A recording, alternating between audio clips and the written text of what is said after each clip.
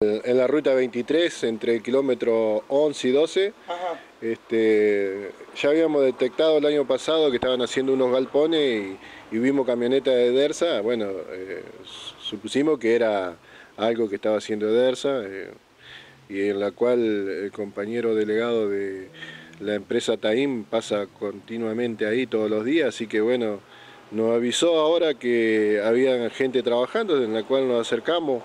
Estuvimos hablando con la gente de ahí y sí, están en malas condiciones, eh, supuestamente nunca le dieron recibo de sueldo, eh, no tienen botines, están durmiendo bajo el galpón ese que es totalmente, no tiene aislamiento ni del frío ni del calor, eh, los baños no están en condiciones, todo sucio, este, y bueno, y por eso surgió el reclamo en la cual elevamos una nota pidiendo inspectores de seguridad e higiene, en la cual ayer lunes nos acercamos para hacer una inspección.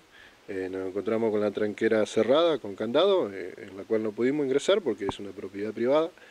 Este, y bueno, volvimos a San Antonio para ver si podíamos hacer una denuncia o ir con la policía, en la cual se hizo una denuncia a través del Ministerio... Eh, eh, Pablo Fernández hizo una denuncia, que él es responsable de Secretaría de Trabajo, así que bueno, y, ahora estamos a la espera de, poder este, ingresar con los inspectores para hacer la inspección que corresponde. Eh, hablamos de, es una empresa que opera, me dijiste en de la ruta 23, ahí cerca de Mancha Blanca.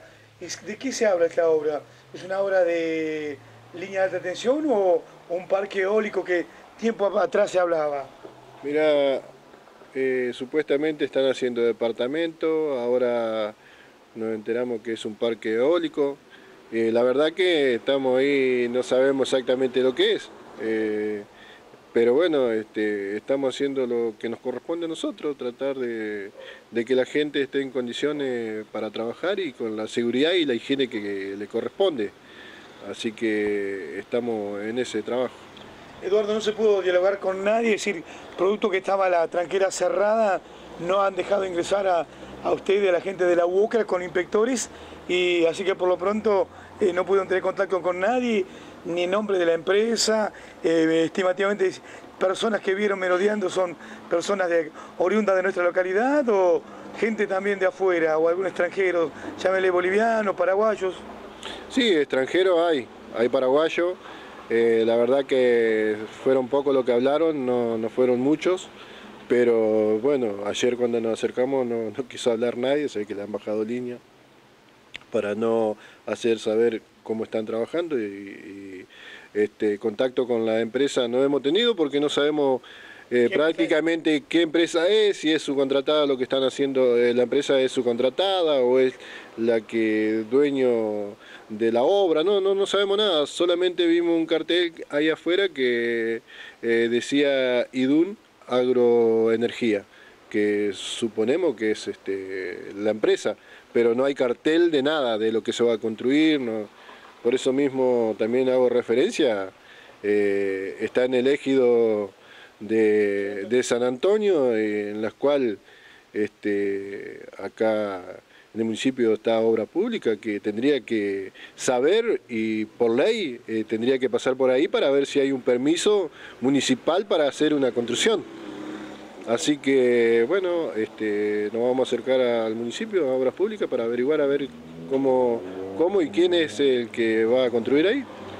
Eh, Eduardo, estamos hablando, esto suscitó en la jornada de ayer cuando se encontraron con, esta, eh, con este galpón precario y gente que está trabajando. Eh, de todas maneras, ahora ustedes deja que actúe la gente de la Secretaría de Trabajo de aquí de San Antonio, entonces. Y sí, que le corresponde hacer la denuncia a ellos, este, en fiscalía, donde sea, entonces nosotros estamos esperando para poder ingresar con los inspectores para ver cómo eh, eh, terminar de confirmar todo lo que nos dijo la gente y bueno, este, tratar de solucionarle, para eso estamos. ¿no? Bueno, esto queda en un compás de espera, así que estar atento a lo que puede llegar a suceder en la jornada de hoy o mañana.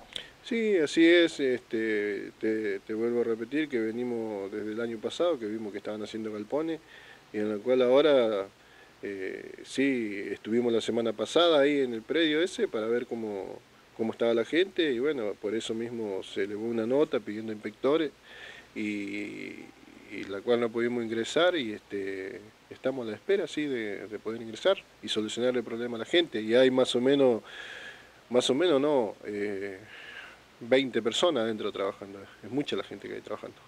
¿Usted lo pudieron pasar a través del alambre cuando estaban detrás?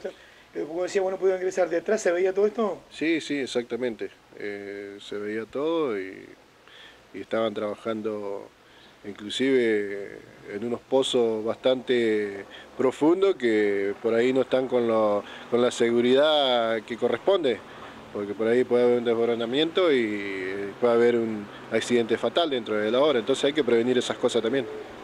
Así que por lo pronto ya está hecha la denuncia en la Secretaría de Trabajo y bueno, se espera la ocasión para hacer una nueva inspección entonces. Sí, exacto. Vamos a esperar a ver qué, qué sucede durante la semana.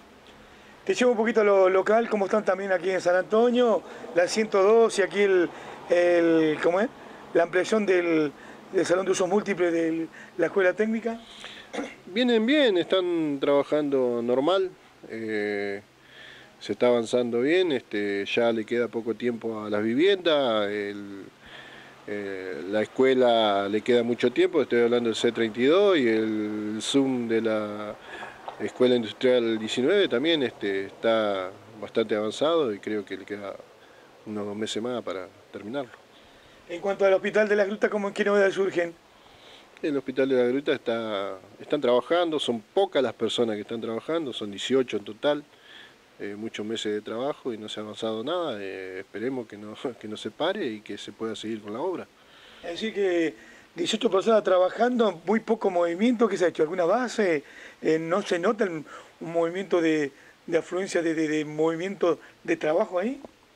Trabajar están trabajando, que los 18 que están adentro están trabajando, eh, están haciendo las bases, y bueno, esperemos que, que, que siga la obra y que se termine y que ocupen más gente, porque con 18 personas no van a hacer semejante hospital.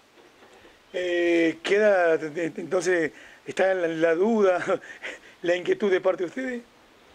No, creo que de parte de nosotros, de parte de la sociedad y de parte de los trabajadores que están dentro de la obra, porque eh, todo constructor sabe que con 18 personas no van a hacer esa obra. Pero bueno, esperemos que, que nos equivoquemos, que se haga.